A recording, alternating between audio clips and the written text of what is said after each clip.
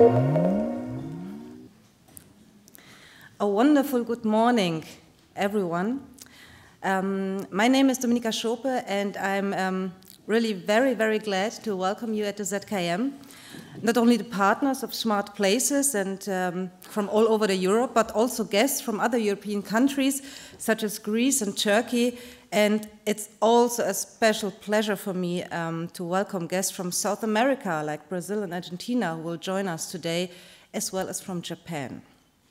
I would also like to extend warm greetings to all those who are unable to be here today and tomorrow will be following us over the next two days on the live stream.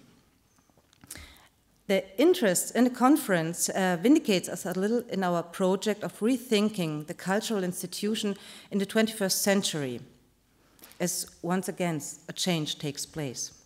How must the institution position itself as not to become lost in the age of digitalization and the enormous flow of information that washes in over us every day?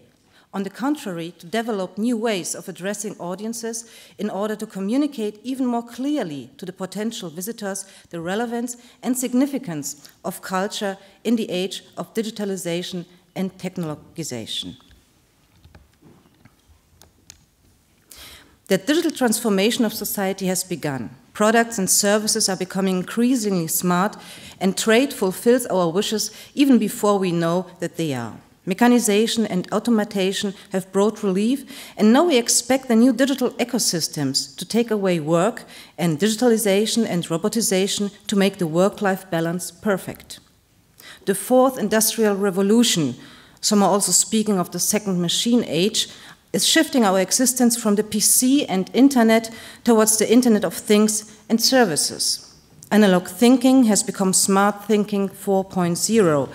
The next step, incidentally, is an Internet of Senses, which is being prophesied by current development at KIT in Karlsruhe. What has happened to the user in this period?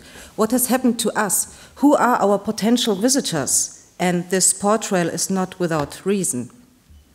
In the middle of the 80s, one can already observe a decrease in the strength of traditional bonds and of extensive destratification phenomena. An, an, individualization process is being set in motion, which is growing in structure changing intensity due to more work free time, more money, more mobility, education, and so on.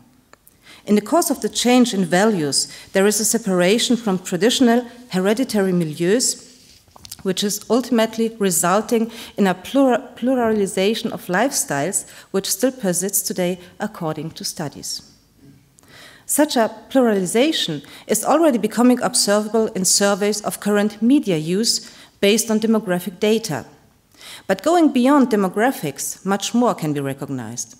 Social geographical data, right up to psychographics, show us that the current society is oriented strongly towards performance and efficiency, pragmatism and utility. Questions regarding the additional value for oneself are accompanied by a regrounding, a search for anchoring and de deceleration. But sustainability New synthesis of values and a selective idealism are also playing a greater role than 30 years ago. At the same time, users and our potential visitors now expect services to be quicker and more individual, and to give situational relevance and for the ecosystems in which they live to be flexible. Efficiency and user orientation are demanded because lifetime is valuable and the world is so varied and challenging. The user focuses on demands from us that we do the same. They demand from us to be smart. A challenging demand, so what is to be done? Smart Places tries to answer this question. In the framework of the EU project, we focus on audience development and thus the interest and needs of the visitors. Because what started with the digitalization of stocks of museums worlds, museum worlds has happily soon also included the practical areas. The term audience development, which was coined by the Arts Council of England, describes the activity, quote, which is undertaken specifically to meet the needs of existing and potential audiences and to help arts and cultural organizations to develop ongoing relationships with audiences It can include aspects of marketing, commissioning, programming, education, customer care, and distribution. For Germany, support for this first came, surprisingly, not from the federal states of Germany, but from the European Union, since 2012 has not only provided funding for work on scientific content in the way which we are previously familiar with, but also for applied approaches to access in the framework of the program Creative Europe. Smart Places breaks fresh ground for a communication of art and culture. Cultural institutions are to become smart, which is to say, intelligently equipped places to experience art. The communication focuses on the museum visitors and their interests and needs. In the EU cultural funding will support, will support the project during four years with 2 million euro. Partners of the new network are eight cultural institutions and two universities from all over Europe. Coordination of the think tank is headed by the Dortmunder U. The main aim of Smart Places is primarily to tap new target groups using innovative digital offerings. As well as the brokering of media competence, however, the involved cultural sites are also to network on several levels in order to generate synergies among each other, not only in the curatorial sphere, but also and especially in the addressing of visitors. In addition to this, however, it is also intended to the project to initiate change management within the institutions. The project is transparent. On the website Smart Places EU and via our newsletter, we report continually on our attempts and successes, but certainly also about our, our failures, because with the aim of improving, failure is also a part of the process. As a part of this transparency, the section Audience Engagement gives an initial insight into the project on the, on the individual partners and our attempts to meet the current challenges. In these attempts and in our daily work, individual themes reveal themselves that are intended to cause us to reflect and to act sooner rather than later. The technologies have arrived in our everyday lives. We can attempt to keep them away from ourselves, but we can also try to use them for ourselves and our purposes. What possibilities exist? How can we use them without overtaxing the people coming into what, for them, is a conventional museum? Should we not work on integrating technologies as obvious possibilities and introducing them to the visitors, the people interested in culture, instead of distancing ourselves from them? Because, after all, we are meant to be places of contemplation? What could intelligent use be like? The artists have been working on this for a long time, even if there is not infrequently room for improvement in the technical execution. They reflect new technologies and or use them as media. What can we learn from this for the application of the media for addressing visitors? What can we transfer and how? And how should we build sensible and elegant bridges to make access easier and to perhaps also reduce inhibition thresholds? We at ZKM have not infrequently had the had the opportunity to learn from artists. It was an artistic augmented reality application for an exhibition which was created here in 2011 and which represented an impetus for the initial engagement in marketing. When we talk about artists, then we must, we must then immediately talk about curators who sometimes perhaps do not have the visitor and their access possibilities sufficiently in mind. After all consideration, one thing becomes especially clear. The interaction between curator, management, and marketing has to become stronger, perhaps even to be created in the first place in some cases. We have to work on our own structures here. The present key phrases are change management, breaking up of silos, and flat hierarchies. If we do not change internally, we will hardly be able to change outwardly. We have to learn to further educate ourselves. We have to dare to enter new territory and leave the comfort zone. You are already doing this, you are here. By the way, in business, it is a certain for 90% of companies that digitalization has changed many companies substantially and is making a major contribution to the creation of value. CEOs are assigned a significantly less important role than it was the case even in 2016. Reason? The focus is no longer just on strategy, but instead the emphasis is now on implementation. Certain forms of daily business will not change so quickly, and nevertheless, we have to find new methods and approaches for freeing ourselves from the old structures. But let me prevent any misunderstanding. It is not just technology that will be important and that we are talking about. People normally talk about human resources, but I would prefer to talk about the resourceful human in the 21st century.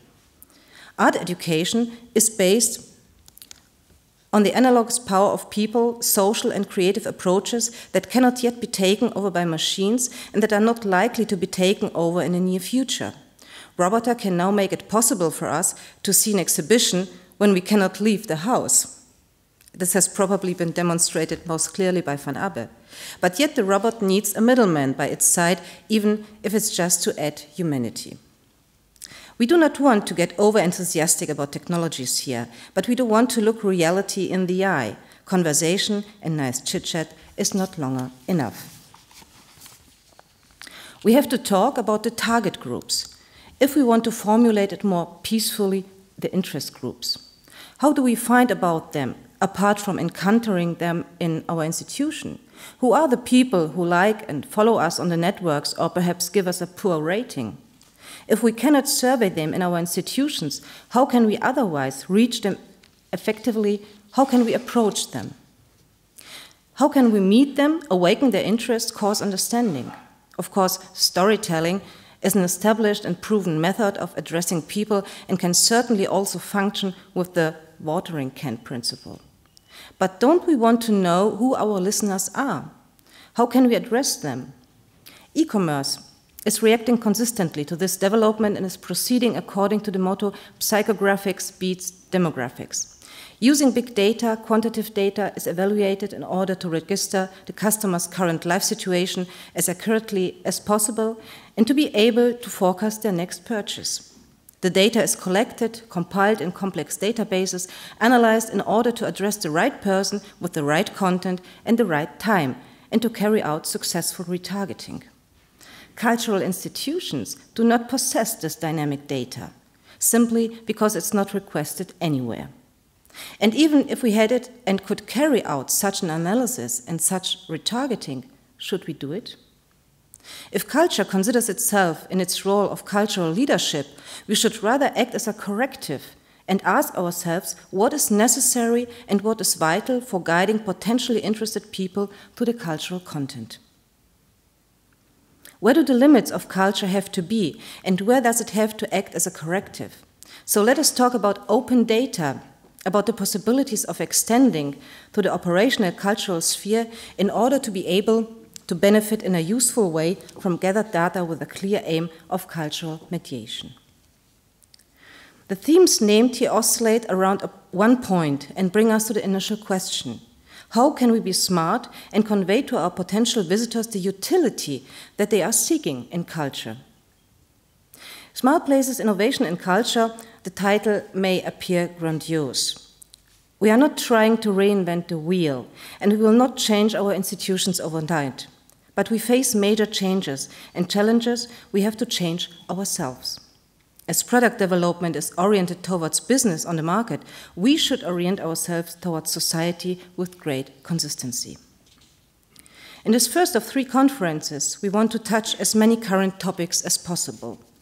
We have had the idea of producing a manifesto, or perhaps a plea, or even an algorithm for the cultural institutions of the beginning of the 21st century. During the next few days, we can work out its features, set our initial points, and establish connections. It is certain that this manifesto, or plea, or whatever, which might at the same time be capable of representing guidance for institutions, will not be completed in two days. Two conferences will follow, and this one specifically our concerns in further detail because it is not least at all a matter of the, meeting, of the meaning of culture in 21st century and the question of the cultural leadership of society. So let us negotiate about what a smart place can be, what its elements and requirements are. What could the institution of the 21st century be like if it's oriented itself towards the development and trends of society, both positive and negative? Now, I wish you and I wish us an exciting conference with a lot of discussions and findings. And um, last but not least, I would like to, to thank my team, without whom this conference would have been possible because the sport that we have put on during the past three weeks with a lot of projects as well as the preparation of the conference is absurd and incredible. So big thanks to Regina and Steffi and to Alexa and Marie and to Juno and Marie. Thank you very much and have a lot of fun in the two days.